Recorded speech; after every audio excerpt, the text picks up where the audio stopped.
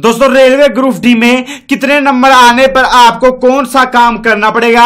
यानी कि आपको कौन सी पोस्ट मिलेगी? और किस पोस्ट के लिए कितने नंबर होना ज़रूरी है? तो दोस्तों, इस वीडियो में हम आपको यही बात बताने वाले हैं कि रेलवे ग्रुप डी में कौन कौन सी पोस्ट है और आपको कितने नंबर आने पर कौन सी पोस्ट मिल सकती है। तो दोस्तों, चलिए वीडियो में आगे बढ़ते हैं और बिल्कुल ऑफिशियली नोटिफिकेशन में देख लेते हैं कि आपको कौन सी पोस्ट मिलेगी। लेकिन दोस्तों, उससे पहले जो विद्यार्थी चैनल के ऊपर नए हैं, वो चैनल को सब्सक्राइब सब्सक्राइब करके बेल आइकन को ऑन ज़रूर कर दीजिए। आपको वीडियो के नीचे लाल रंग के सब्सक्राइब बटन को दबा के चैनल को सब्सक्राइब करना है।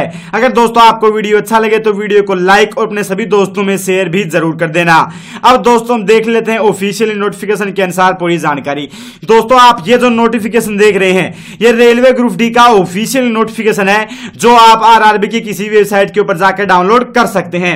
इसमें दोस्तों यहाँ पर आप ये देख सकते हैं सी एन टू पोस्ट यहाँ पर दोस्तों ये जो आपको पोस्ट दिखाई दे रही रही हैं। ये रेलवे ग्रुप डी की तमाम पोस्ट है। इसमें आपको टोटल 28 पोस्ट मिल जाती हैं। जी हाँ दोस्तों, रेलवे ग्रुप डी में टोटल 28 पोस्ट हैं। आपको इन 28 में से ही कोई एक पोस्ट मिलेगी जब आपका सिलेक्शन होगा। अब हम आपको एक एक पोस्ट का काम बताएँगे और किस पोस्ट में कितने नंबर आएँगे तो आपका सिलेक्शन होगा वो भी आपको बता देते हैं। दोस्तों, सबसे पहले आप यहाँ पर ये देखिए।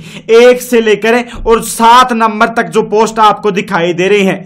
इनमें डिपार्टमेंट है इलेक्ट्रिक ऑफिशियल का। इसके अलावा दोस्तों, जो 28 पोस्ट है, उन सभी में अलग अलग डिपार्टमेंट है। यहाँ पर जो आप आठ नंबर से लेकर और चौदह नंबर तक देख रहे हैं। इनमें डिपार्टमेंट आप देखें इंजीनियरिंग है इंजीनियरिंग है। फिर इसके बाद में अगर आप नीचे देखेंगे तो आपको डिपार्टमेंट मैकेनिकल दिखाई देगा। इसी प्रकार से दोस्तों, आपको मेडिकल डिपार्टमेंट अलग अलग डिपार्टमेंट मिलते हैं। अब हम आपको बताते हैं कि पोस्ट का क्या फ़र्क है। तो दोस्तों, पहली पोस्ट यहाँ पर आप स्क्रीन के ऊपर देख सकते हैं। यह है हेल्पर इलेक्ट्रीशियल वर्कशॉप यानी कि दोस्तों वर्कशॉप होता है जो आपका कारखाना कारखाना किसका होगा? कारखाना होगा रेलवे के डिब्बे वगैरह का, जहाँ पर रेलवे का सामान बनता है।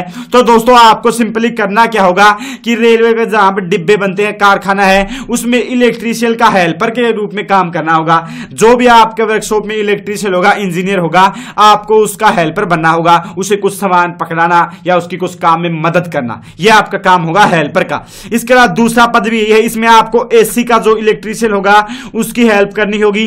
ठीक है, इसके अलावा तीसरा पद है। ये भी हेल्पर का ही है। इसमें भी आपको जो नॉर्मली इंजीनियर वगैरह लगे रहते हैं, उनकी मदद करनी है इलेक्ट्रिशियल डिपार्टमेंट यानी कि विद्युत विभाग में।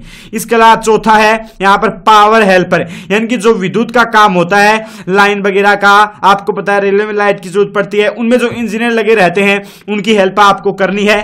पांचवा है ट्रेन लाइटिंग इसमें आपको हेल्पिंग करनी होगी। हेल्प पर की मदद करनी होगी। यानी कि दोस्तों, जो ट्रेन में लाइट लाइटें वगैरह लगी होती हैं, उसमें आपको जो इंजीनियर लगा होगा, उन्हें सुधारेगा।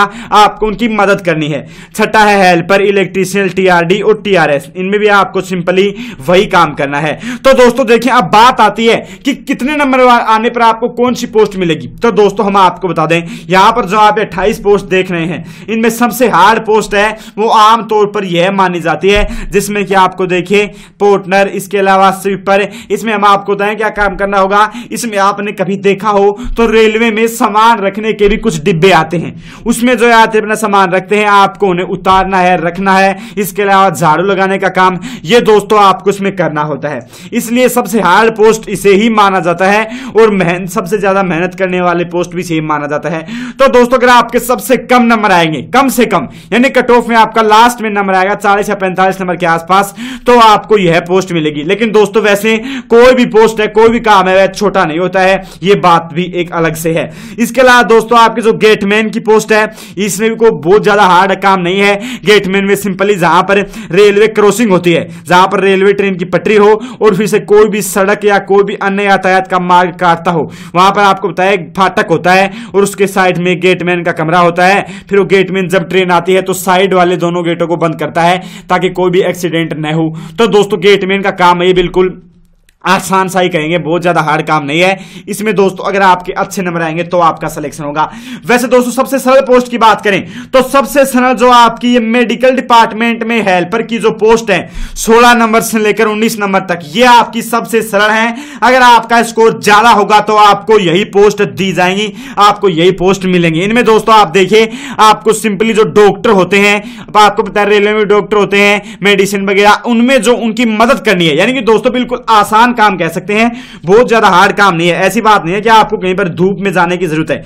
इसके अलावा दोस्तों, कुछ और पद है जो हम आपको बताते हैं। आप ये देखिए असिस्टेंट पॉइंटमैन यानी कि दोस्तों, आपको है रेलवे की पटरियाँ हैं, वो ऐसे तो होती नहीं कि एक ही पटरी है पूरे देश में।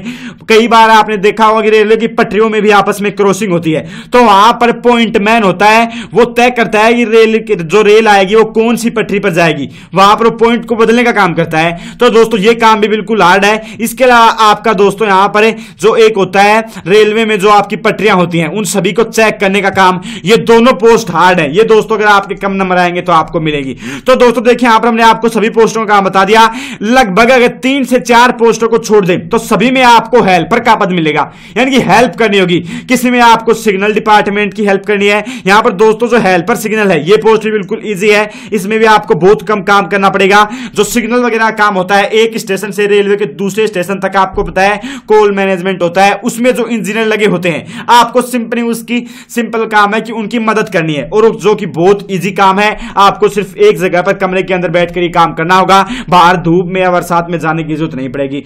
तो दोस्तों, यहाँ पर देखिए हमने आपको सभी जो पोस्ट है, उनका काम लगभग बता दिया है। अगर दोस्तों आपके मन में और कोई सवाल हो तो आप वीडियो के नीचे कमेंट करके पूछ सकते हैं। वैसे दोस्तों, आप वीडियो के नीचे कमेंट करके ये बताएँ कि आपके कितने नंबर हैं और आप क्या चाहते हैं, आपको कौन सी पोस्ट मिले और आप कौन सी पोस्ट लेना चाहते हैं। अगर दोस्तों आपको ये वीडियो अच्छा लगा है तो वीडियो को लाइक ज़रूर कर दीजिए, इससे हमारा मनोबल बढ़ेगा और वीडियो को अपने दोस्तों में जो आपके परिवार के लोग हैं, उनमें शेयर कीजिए, ताकि आपके साथ साथ वो भी जानकारी को प्राप्त कर सकें। और ऐसे रेलवे ग्रुप डी पल पल की अपडेट सबसे पहले पाने के लिए चैनल को सब्सक्राइब ज़रूर करें। और पूरी जानकारी देखने के लिए स्टडी ऑफिशियल वेबसाइट पर ज़रूर जाएँ। थैंक यू जय हिंद, जय भारत।